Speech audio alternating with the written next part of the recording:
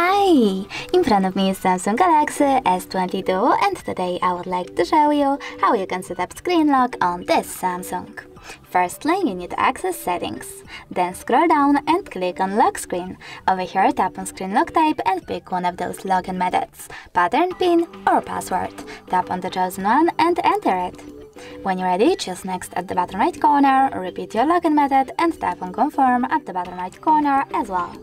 Over here you can adjust notifications on your lock screen or even disable them completely by tapping on the switcher.